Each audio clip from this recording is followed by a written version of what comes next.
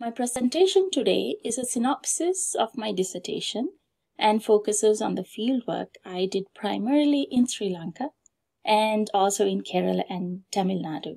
There are three distinctive temples that were founded in the Gampola period in Sri Lanka, that is from 1341 to 1410, and they were modified in the Kandy period, which is 1473 to 1815.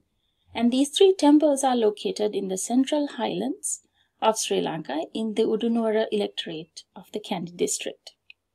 Popularly known as the last monumental temples of the island, they are the Ambakka Devale, which is a Hindu temple dedicated to the war god Skanda, and Gadaladeniya and Lankatilaka royal temples, which are primarily Buddhist but also contain certain Hindu and tutelary gods within them. In terms of their art, architecture, and iconographic programs, none of the three temples fit into a traditional style, such as the temples we see in the early capitals of Sri Lanka, such as Anuradhapura or Polonnaruwa, or those in and around Kandy. I propose that the cosmopolitan time period of Gampola and Kandy kingdoms where religious syncretism led to the merging of Buddhist and Hindu ideas resulted in creating these unusual temples, with art and architecture which really doesn't fit into an exclusively Hindu or Buddhist category. To emphasize my point, I address the historical developments surrounding these three temples and provide some examples from their distinctive roofs, royal patronage, and temple art, along with some of the temple pillars and their wood and stone carvings. Ambakka Devale is a Hindu temple that is primarily dedicated to god Skanda, who is popularly known as Kataragama Deviyo in Sri Lanka. Devale refers to a house of God, usually placed in a subsidiary location to the main image house of the Buddha. In terms of religious, archaeological, and art historical points of view, the Ambakka Devale is a conundrum that is fraught with dualities. Although the Devale is dedicated to a Hindu Brahmanical god who assumes a significant position as one of the four guardian gods of the island, a small shrine room consecrated to the Buddha, the most consequential figure within the Buddhist pantheon, is annexed to the Devale on the side, and you can see it in the screen right here. The founding legend of Ambakka Devale is shrouded in mythology and folklore and dates to the early Gampola period, while the architecture and the extensive wood carvings indicate a later date in the Kandy period. The construction of Gadaladeniya and Lankatilaka temples do not fit the traditional pattern of royal patron providing support for lo local temples. Both temples were constructed by non-royal patrons, indicating the weakening power of the Gampola kings. The Gadaladeniya temple was constructed by a South Indian architect named Ganesvarachari under the advice of a prominent Buddhist monk, Silavamsa Dharmakirti. Silavamsa Thera received his education from Chola Thera and later spent time in Dhyanakataka, Amaravati. The Lanka Lankatilaka inscription identifies Sapati Raya, a South Indian, as its chief architect under the patronage of Minister Senalankadikara, who was a descendant of a South Indian merchant family. Although he had assimilated into the local culture, they still identified with their South Indian roots. This historical background offers a plausible explanation to the Hindu characteristics we see in Gadaladeniya and Lankatilaka temples. The syncretism seen in the religious front, where Hindu gods merged into the Buddhist pantheon, is visually articulated in the juxtaposition of elements of Hindu temple architecture with Buddhist temples of Gampola. The deities placed within the shrines also indicate the changes that were taking place in the Buddhist pantheon during this time. The subsidiary shrine within the main Gadaladeniya temple was dedicated to god Upulvan, although today it is used as a shrine for god Vishnu. Therefore, between the Gampola and Kandy periods, an ideological shift had taken place that merged Upulvan with Vishnu. A similar placement can be noted with the architecture of Lankatilaka when considering the inclusion of subsidiary shrines around the central Buddhist vihara. Similarly, a shrine for god Saman is included in the Lankatilaka temple, which indicates that between the said time period, the deified form of Bodhisattva Samantabhadra has been accepted into the pantheon and consequently into the Gampola and Kandy periods. The architecture of all three temples presents several similarities and differences with traditional Dravidian temple architecture in their overall compositions. Although I use standard Dravida architectural terminology, to identify these comparative architectural components in each temple, I also stress here that these three temples in Sri Lanka are not copies of Dravida or Kerala Hindu temples.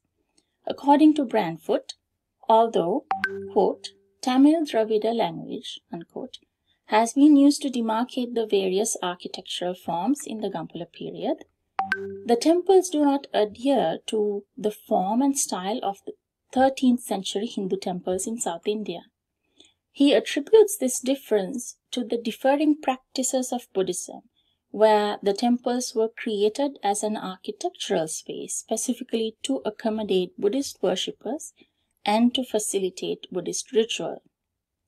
While they share many elements with temples in South India, the Sri Lankan tem temples stand on their own, with individual characteristics that specifically accommodate Buddhist worship, acknowledge local Buddhist gods, as well as Hindu Brahmanical gods. Between some of the colonnades are heads. The Gadaladeniya temple, on the other hand, does not depict as much variation in depth and instead the colonnades that create the illusion of fake doorways protrude slightly from the surface of the wall.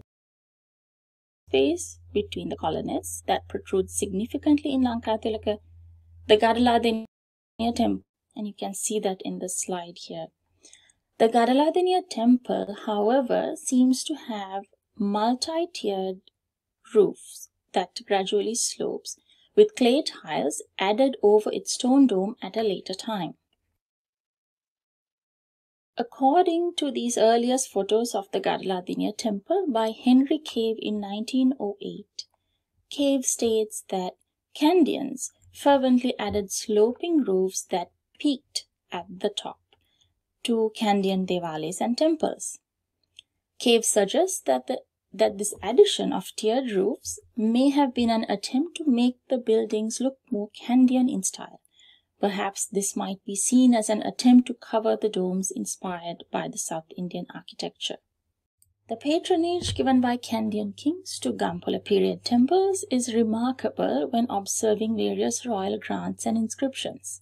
According to oral history, King Rajadi Rajasingha has granted land to Ambakka Devale in the Kandy period. The Lanka Tilaka copper plate inscription contain details about the grants by King Kirtisri Rajasingha and his brother Rajadi Rajasingha. Perhaps the most intriguing factor here is that these two kings were not Sinhala Buddhist kings, but that they were Hindu Saivite Nayakas from Madurai, South India. The paintings in Lanka Tilaka and Gadaladeniya from the 18th century attest to the Buddhist revival of the Kandy period and to the Nayakar presence and artistic exchanges with Madurai. Both Gadaladeniya and Lankatilaka depict a myriad of figures from the Hindu pantheon and Mahayana Buddhism juxtaposed with local Kandian paintings. The selection of various deities and bodhisattvas indicate the extent to which Hinduism and Buddhism has synchronized within these Buddhist temples. The devotees who enter the image houses would be visually engaged with the sculptures and paintings and be able to identify at least the most important Hindu gods such as Vishnu and Ganesha while worshipping the central Buddha. With Devalis being articulated into the architecture of both temples during the Gampola period, the Kandy period inclusion of Hindu and Mahayana figures further emphasized the religious syncretism that was being experienced in Kandy and in its peripheral temples. While the Hindu and local tutelary gods were in close proximity within the niches of the walls of Lanka Tilaka and the adjacent shrine of Gadaladeniya, they seem to have entered the main Buddha shrine in the Kandy period. The gods and celestial beings are placed above the central Buddha in the Makara Torana in direct view of the worshippers who enter the shrine. Flanked by two standing Buddhas on either side, the central Buddhas in both temples are seated in a meditative posture under a Makara Torana that depicts Brahmanical gods such as Sakka, Vishnu, and Ganesha. According to Holt, Makara Torana at Gadaladeniya include Brahmanical gods such as Brahma, Sakka, Suyama, and Santusita as well as Buddhist bodhisattvas such as Natha and Maitreya. The paintings in the Buddhist shrine at Ambekka Devale follows the same juxtaposition of sculpture and paintings of a Kandyan Vihara. But as its stylistic variation indicates, the paintings and sculptures exhibit characteristics of the 19th century. The form of the pillars in Ambekka Devale, along with the two stone pillars of the Gadaladeniya temple porch, tell an interesting story of the amalgamation of Hindu South Indian, Gampola, and Kandyan architecture. The Gadaladeniya temple porch has two stone pillars on a stone base that is decorated with two stone elephants and a set of steps that are also carved with dancing figures at their base and two yalis as handrails. While the carvings on the steps and the pillars have been discussed by several scholars, what I question is the form, iconography, and the possible provenance of these two unusual composite columns. The bottom, top, and center of each pillar are square, while two octagonal portions form the rest of the pillars. On two sides of each pillar are two octagonal shafts that are connected to each central pillar. All four small pillars rest on the heads of stone lions that are topped with another lion who sits on a lotus pedestal. However, these two pillars are, are not identical.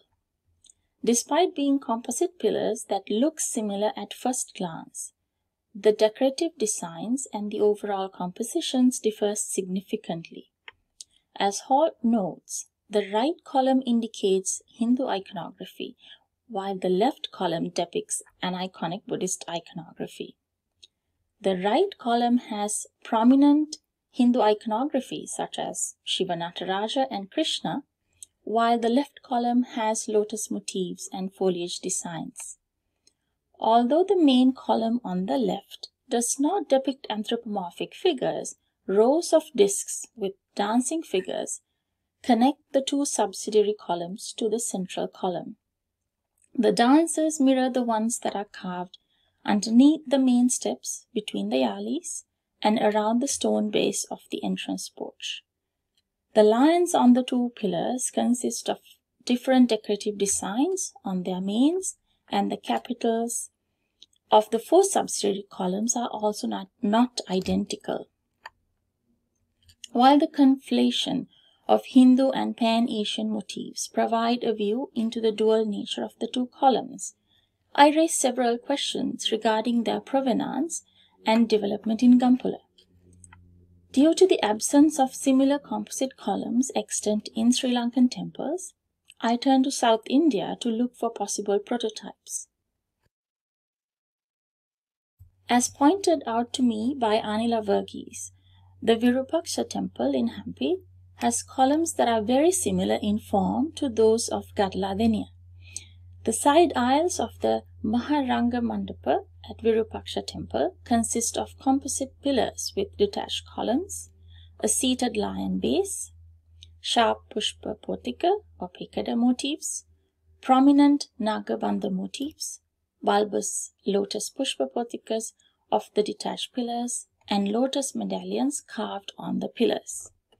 Although the composition of the central pillar differs from the alternating square octagon square form, the iconography and the detached pillars show a strong visual similarity with the Gadaladeniya pillars.